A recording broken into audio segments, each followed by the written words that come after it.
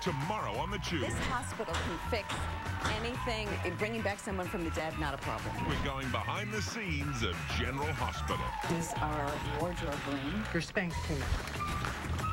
These are Maurice's. That's tomorrow on The Chew.